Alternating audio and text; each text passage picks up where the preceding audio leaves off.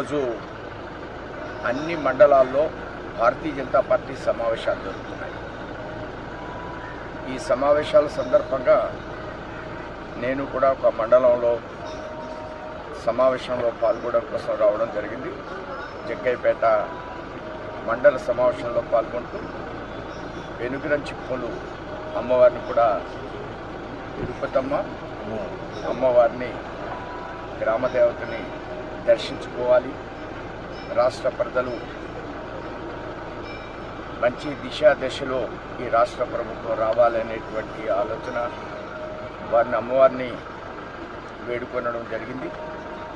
ఈ రాష్ట్రం పద్నాలుగు విడిపోయిన తర్వాత ఒక సరైన దిశ దశల దశలో వెళ్ళడం లేదు. గత ప్రభుత్వం కానీ ఈ ప్రభుత్వం కానీ పద్నాలుగు వరకు మనం హైదరాబాదులో ఉండి ఈ పదమూడు జిల్లాలు ఏమాత్రం కూడా అభివృద్ధి నోచుకోలేనటువంటి పరిస్థితి. ఇప్పటికి కూడా నినాదాలతో కాలం వెళ్ళబుచ్చుతున్నారు.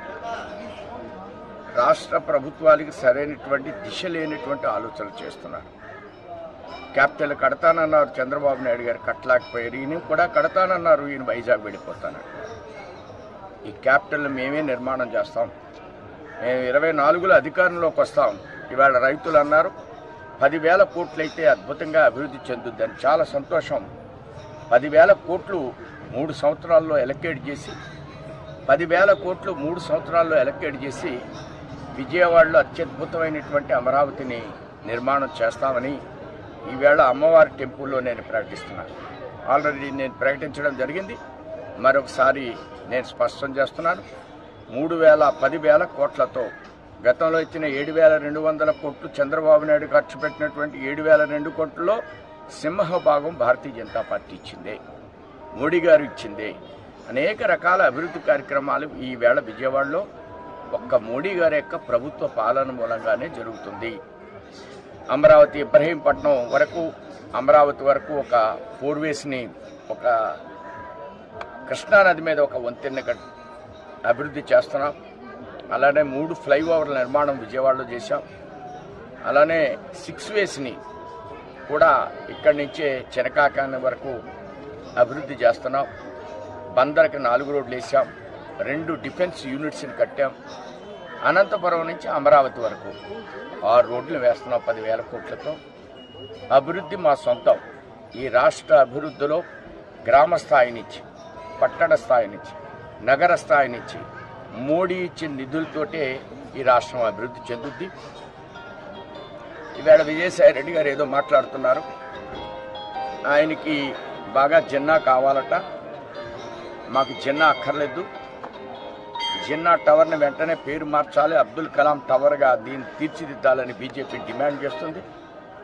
ప్రత్యేక హోదాకు సరైనటువంటి నిధుల్ని ఇరవై నాలుగు తర్వాత పదివేల కోట్లు కానీ పన్నెండు వేల కోట్లు కానీ మేము తీసుకొచ్చి ప్రత్యేక హోదాకి సరైనటువంటి నిధులు తీసుకొచ్చి ఇరవై పన్నెండు వేల కోట్లు అవసరమైతే ఇంకా పెంచి ఈ రాష్ట్రాన్ని మేమే అభివృద్ధి చేస్తాం.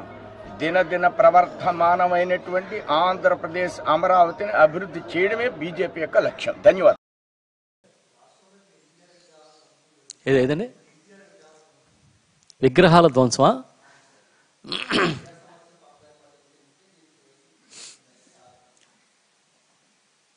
గుంటూరు జిల్లాలో ఎన్టీఆర్ విగ్రహాన్ని ధ్వంసం చేసినట్టుగా చూశాను నేను కూడా. చాలా దురదృష్టకరమైన సంఘటన అది. ఇది ఎవరు చేసినా చాలా తప్పు ఇది. మేము పార్టీ పరంగా ఖండించాం. ప్రభుత్వ పరంగా ఇమ్మీడియట్గా చర్యలు తీసుకున్నాం. బాధిత సంబంధిత ఎవరైతే బాధ్యులు ఉన్నారో వారిపైన కేసులు నమోదు చేశారు. పూర్తిగా ఇన్వెస్టిగేషన్ జరుగుతూ ఉంది ఎక్కడా కూడా ఈ విగ్రహాలు పడగొట్టడం విగ్రహాలు కూలదోయడం ఇలాంటి చౌకబారు రాజకీయాలు వైఎస్ఆర్ పార్టీ ఎప్పుడూ చెయ్యదు. వైఎస్ఆర్ ప్రభుత్వం ఎప్పుడు చెయ్యదని ఈ సందర్భంగా చెప్తున్నా. ఈరోజు మీకు చే- చూసుకుంటే అసలు ప్రభుత్వంలో ఉండి తెలుగుదేశం పార్టీ అధికారంలో ఉన్నప్పుడు స్వయంగా వైఎస్ రాజశేఖర రెడ్డి గారి విగ్రహాలను తీసి పక్కన పడేసిన పరిస్థితిని చూసాం ఈ రాష్ట్రంలో. ఎక్కడో కాదు. విజయవాడ నడిబొడ్డున రాజశేఖర రెడ్డి గారి విగ్రహం అడ్డొచ్చిందని చెప్పి తీసేసి కనీసం దాన్ని తిరిగి సరైన ప్లేస్లో పెట్టకుండా మూలన పడేయలేదా మీరు? అది కదా రాజకీయం అంటే? అదే కాకుండా ఈరోజు ఎన్టీఆర్ విగ్రహాన్ని ఎవరో కొంతమంది ధ్వంసం చేశారనే ఉద్దేశంతో దాన్ని పట్టుకుని రాజకీయంగా లబ్ధి పొందాలనే కార్యక్రమం చేస్తున్నారు చిత్రం ఏంటంటే ఎన్టీఆర్నే విధ్వంసం చేసి దెబ్బతీసిన వాళ్ళు ఎన్టీఆర్ విగ్రహం విధ్వంసం కోసం మొసలి కన్నీరుగా అరుస్తూ ఉన్నారు. మేము ఎక్కడ గుర్తుపెట్టుకోండి చౌకబారు రాజకీయాలు చేసే నాయకుడు కాదు జగన్మోహన్ రెడ్డి గారు. ఆయన నాయకత్వంలో పనిచేస్తున్న మేము ఎట్టి పరిస్థితుల్లో చౌక చౌకబారుగా పనిచేయం. నేను ఈరోజు చెప్తున్నా ఇక్కడ కూర్చుని ఇక్కడ ఉన్న మీడియా మిత్రులందరూ కూడా చెక్ చేసుకోండి. కాకినాడలో సర్పవరం జంక్షన్లో ఉన్న ఎన్టీ రామారావు విగ్రహానికి బ్యూటిఫికేషన్ లైటింగ్ పెట్టి ఆరు నెలలు అయింది. మాకేమి ఆయన ఎన్టీ రామారావు గారు ఒక గొప్ప నాయకుడిగా ఈ రాష్ట్రంలో చాలామంది గుర్తించాం. ఆయన కూడా సంక్షేమం కోసం పాటుపడ్డ నాయకుడిగా మేము గుర్తించాం. ఆయన నాయకుడిగా గుర్తించింది ఎవరు అని అంటే నైన్టీన్ నైన్టీ సిక్స్లో ఆయన ప్రభుత్వాన్ని కూలదోసిన వాళ్ళే అతని నాయకత్వాన్ని గుర్తించలే. ఈ నాయకత్వం అక్కర్లేదని తోసేశారు. మేము ఎప్పుడు అలాంటి ఒక నాయకుడిని కించపరిచే కార్యక్రమాలు ఎప్పుడు చేయం. ఈరోజు మళ్ళీ చెప్తున్నా చూసుకోండి వెళ్ళి సర్పవరం జంక్షన్లో కాకినాడలో లైటింగ్. ఎందుకంటే నాకు తెలిసిన ఇన్సిడెంట్ కూడా చెప్తున్నా. లైటింగ్ కూడా ఏర్పాటు చేశాం. కాబట్టి ఇంకా లోతుకెళ్తే ఎక్కడెక్కడ రాజశేఖర రెడ్డి గారి విగ్రహాలు ప్రభుత్వ పరంగానే ధ్వంసం చేశారని మీ దగ్గర డేటా దొరుకుతుంది చూసుకోండి ఒకసారి. ఎక్కడో కాదు విజయవాడ నడుబడిన కాబట్టి ఇంత చౌకబారుగా రాజకీయాలు చేయొద్దు. ఒకటే చెప్తున్నా ఈ రోజున ఏదైతే ఎన్టీఆర్ విగ్రహంకి ఆ ధ్వంసం సంఘటన జరిగిందో దాన్ని మేము తీవ్రంగా ఖండిస్తున్నాం. ప్రభుత్వ పరంగా కేసులు నమోదు చేశాం. పార్టీ పరంగా కూడా మేము పూర్తిగా ఇలాంటి సంఘటనలు జరగకూడదని కోరుకుంటున్నాం.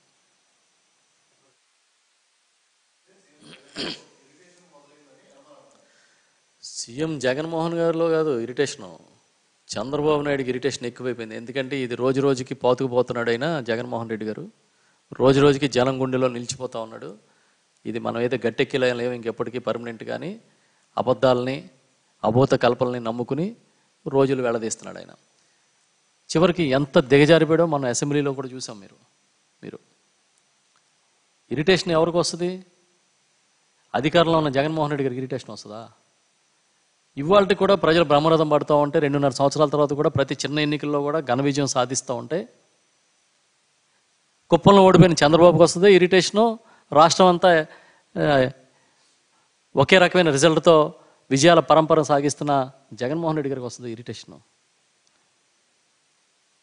నీకేదో రాసుకోవడం నాలుగు పత్రికలు చూపించడానికి నాలుగు ఛానల్స్ ఉండడం అనే బలం తప్ప ఈ రాష్ట్రంలో మీకు ఏం లేదనే విషయం మీకు తెలుసు మాకు తెలుసు.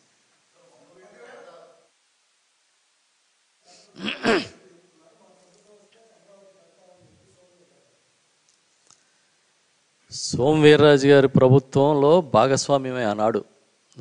బీజేపీ అమరావతి ప్రకటించే నాటికే తెలుగుదేశం పార్టీతో జతగట్టి ఉంది ఈ రాష్ట్రంలో. ఆయన గ్రాఫిక్స్తో చంద్రబాబు నాయుడు కాలం గడుపుతూ ఉంటే ఆ రోజు ఎందుకు బీజేపీ మాట్లాడలేదు అంత అమరావతి మీద ప్రేమ ఉంటే? నువ్వేంటయా ఈ గ్రాఫిక్స్ ఏంటి? ఈ బాహుబలి గ్రాఫిక్స్ లాగా కబుర్లు ఏంటి? కాకరకాయలు ఏంటని? ఆ రోజు బీజేపీ పార్టీ ఎందుకు అడగలే తెలుగుదేశం పార్టీని? తెలుగుదేశం ప్రభుత్వాన్ని? ఓకే. ఇన్ని చెప్తున్నారు కదా మీరు ప్రజాగ్రాహక ఏదో పెట్టారు కదా సభలో. అసలు అన్నీ వద్దు. ఈ రాష్ట్ర అభివృద్ధిలో మీ భాగస్వామ్యం ఏంటో చెప్పని బీజేపీని అడుగుతున్నాను నేను. ఐదేళ్ళ కాలంలో విభజన హామీల్ని మీరు అమలు చేయలేదు. పోనీ భవిష్యత్తులో మేము అమలు చేయిస్తామని బీజేపీ నాయకులు ఏమైనా హామీ ఇవ్వగలుగుతారా? లేదు మేమిగో మీకు రావాల్సిన కేంద్రం నుంచి రావాల్సిన ఈ నిధులన్నింటినీ కూడా రాబట్టడానికి మాది బాధ్యత మాది పూచి అని మీరేనా చెప్తారా? ఎప్పుడైనా సరే ఒక నిర్మాణాత్మకమైన పార్టీగా విమర్శలు చేయాల్సిన చాలా కన్స్ట్రక్టివ్గా విమర్శలు చేయాల్సిన బాధ్యత మీకు ఉందని మర్చిపోవద్దు. అమరావతిని గాలికి వదిలేసి రియల్ ఎస్టేట్ వ్యాపారంలాగా చంద్రబాబు నాయుడు చూసినప్పుడు మీరు ఎందుకు మాట్లాడలేదని అడుగుతున్నాను నేను. చివరికి ఏ పరిస్థితికి వచ్చిందంటే ఈ రాష్ట్రంలో రాజకీయం. చంద్రబాబు నాయుడు గారికి ఒక పక్కన రైట్ ఇంకో పక్కన లెఫ్ట్. ఒక పక్కన కమ్యూనిస్టులు ఉంటారు ఇంకో పక్కన బీజేపీ ఉంటుంది. వీళ్ళిద్దరితో కలిపి ఆయన ప్రయాణం సాగిస్తూ ఉంటాడు. వీళ్ళు వచ్చి సమయానుకూలంగా మాటలు మార్చబడు అన్నట్టుగా మాట్లాడుతూ ఉంటారు.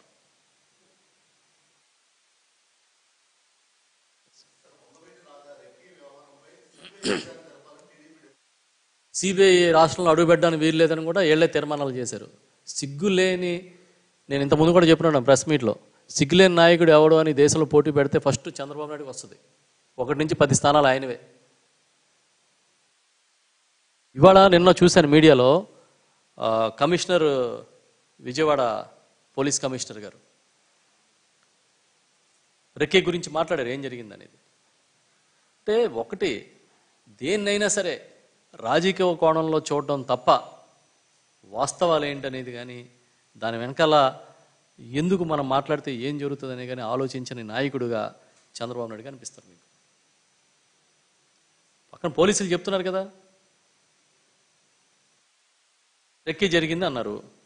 నాయ ఆ రెక్కి జరిగిందని వంగవీటి రాధా గారు చెప్పిన ఇరవై నాలుగు గంటల్లో ప్రభుత్వం పోలీసు భద్రత ఇస్తానంటే వద్దని వెనక్కి పంపించారు.